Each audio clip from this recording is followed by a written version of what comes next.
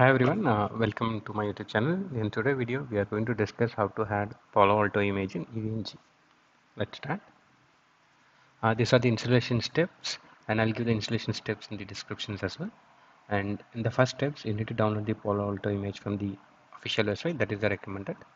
And once it is downloaded, then what you have to do, uh, you have to upload this image to your Eve using FileZilla or WinSCP or uh, any other FTP server that can access your uh, EVE-NG. So I have here I have uh, downloaded the uh, PAVM ESX and ESX 7.0.1 OVA file for the testing. So let me show you.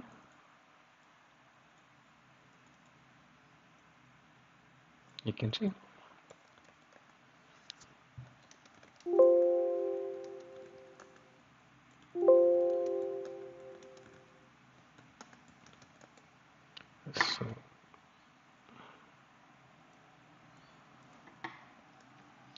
so here you can see that I have already have the image. So the next step is you have to uh, untar it because it is in the .ova so once we uh, do the tar xvf then uh, we will get three files which is inside the ova file.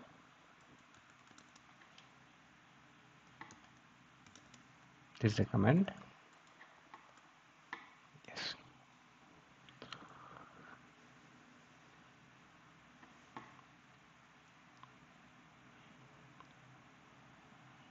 yes currently we have uh, three files uh, .ovf, and .vmdk and we use this .vmdk file uh, to uh, run our uh, Palo Alto image in the EVE-NG um, but EVE-NG supports only uh, the .qcow2 format. Uh, we discussed this in our earlier videos also in this same series. Um, so let me convert this VMDK to QCOW2 as this EVE-NG comes up with the QEMU image utilities already. Uh, so it, it is easy easy to uh, you know convert the image from VMDK to QCOW2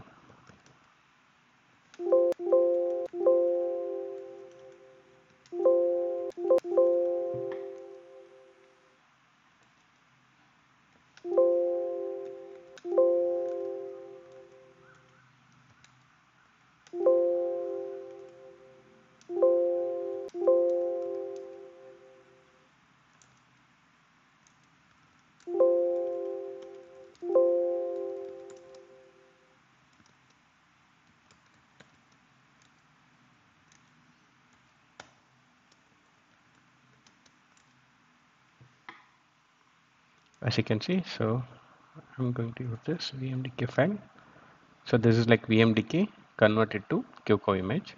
So uh, for this image uh, we recognize that's a this particular format.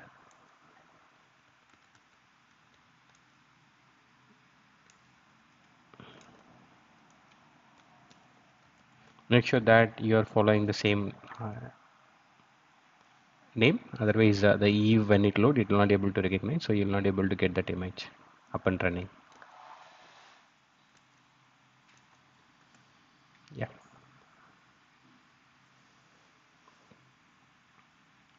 So this we discussed in our last video how, how it is getting converted and what is the utility. So in case if you need I will give you a clue that there is a QEMU uh, utilities that you can download in any Linux so that it will convert the format from VMDK to QCOW2 or QCOW2 to VDM VMDK or any, any different format that it can convert.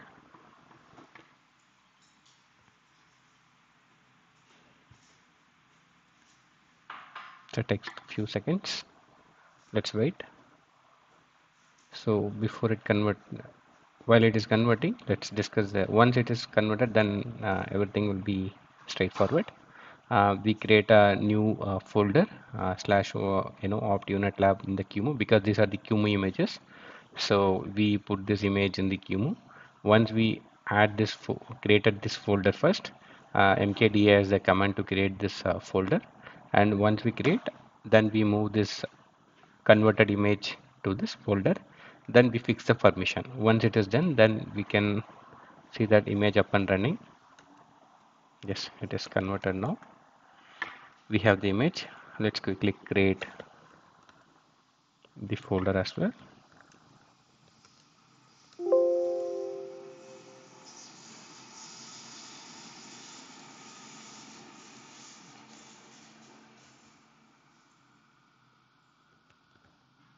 Minus 7.0.1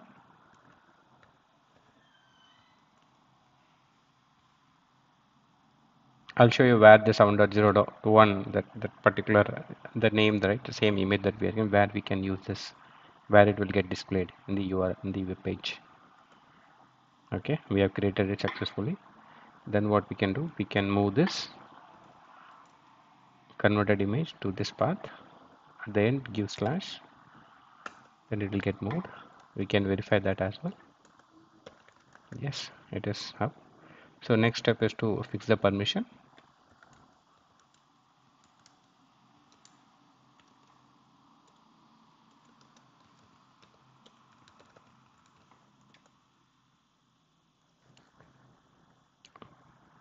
this now we are done.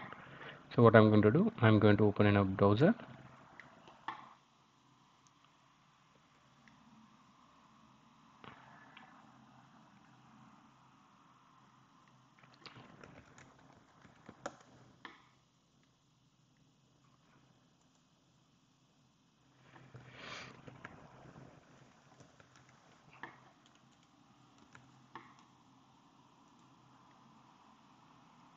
okay right click click on node then click. So here you can see Palo Alto VM firewall. So here that's what I'm saying. So Palo Alto in case if you have two three images like different versions that you can click here. Then you can select the uh, whatever the the image that you need. So currently I have only one image. So it will only uh, know displaying the only one image. In case if I have uh, you know one more image it will show that image as well here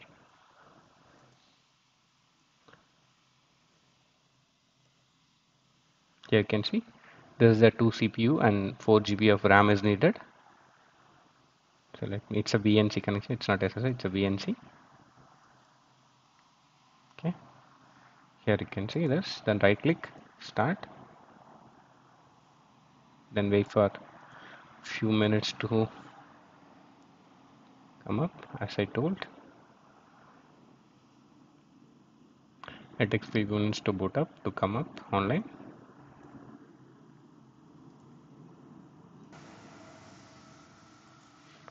now it is up. You can log in using admin admin